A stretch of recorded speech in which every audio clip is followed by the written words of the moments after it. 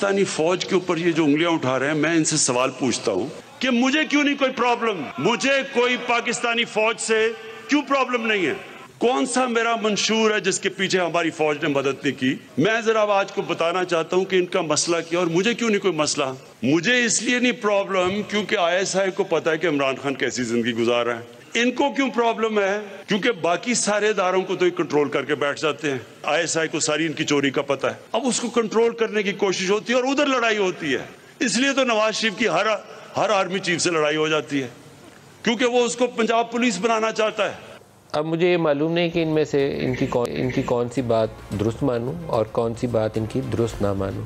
इमरान खान धरना लेकर इस्लामाबाद या लॉन्ग मार्च लेकर इस्लामाबाद आने की तैयारी कर रहे हैं और इसका वो खुलेआम इजहार भी कर रहे हैं। राना सनाउल्ला का ख्याल ये है कि ये अगले हफ़्ते किसी वक्त भी या इस वीकेंड से किसी वक्त भी ऑनवर्ड कॉल कर सकते हैं। तो या तो पीटीआई इस्लामाबाद का घिराव करेगी तो या इस्लामाबाद के अंदर आकर यहाँ धरना देकर बैठना चाहेगी। जो धरने का उनका तजर्बा था 2014 वाला